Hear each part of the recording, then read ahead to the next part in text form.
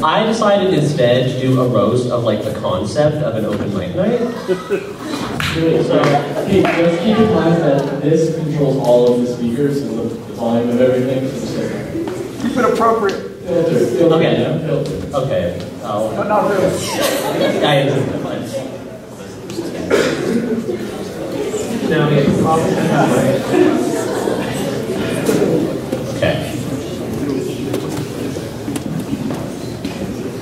I don't want to stay. Yeah. I Put. Okay. So, hello, ladies and gentlemen. Oh, oh my god, I can't speak.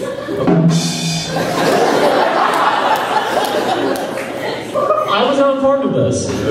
Um, so, hello, ladies and gentlemen. I would like to welcome you to the music program's open mic night, or as I like to call it, a bunch of attention-hungry teenagers' quarterly night of validation.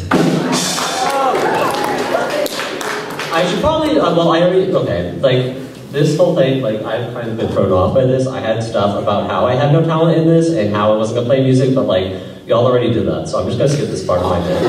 Um, so, but, um, so I was told, actually, that, like, any performance that was here, like, had to have some sort of, like, musical component. So, my lovely assistant, Hannah, will be playing Bohemian Rhapsody on the kazoo while I do this.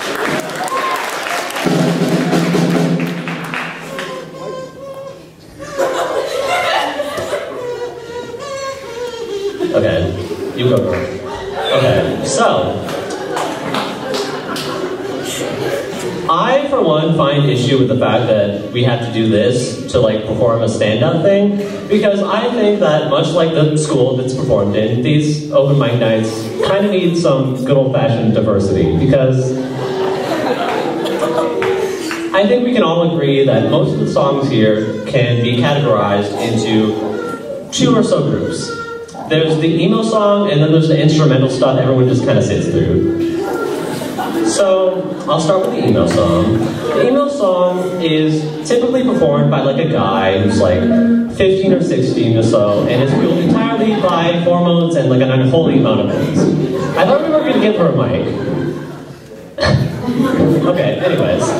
So, hormones and eggs fuel the emo's performers, and like most emo males, this angst began around seventh grade when he was falsely accused of being a homosexual. I can make that joke, and by now I think most of you have guessed why. And so yeah, when for whatever reason the emo male singer believes that singing about his feelings in front of a room full of his peers will somehow not add fuel to that flame. Okay, wait, I lost my page. Hold on. Um, okay. I'm sorry, I'm trying. Um, so, the audience of the open mic night is suggested to these hormones and this angst by a guitar and a voice that isn't quite yet free from the cruel clutches of puberty. And the instrumental stuff, I mentioned it before. I know I said that it was the stuff everyone sits through, but it provides a vital service, you know? Like, it makes us feel smart, you know? Like, you get that? Like, it doesn't really mean anything, but it makes us feel smart, you know?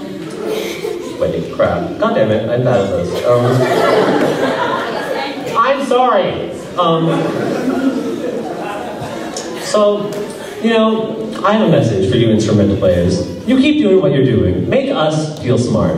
Because as long as our ears don't physically start bleeding, we're just gonna kind of assume that you did a good job. So, like, you go out there and you get it. So, like, I have nothing more to say, and this is my end of my little half-hearted analysis of the night's performances.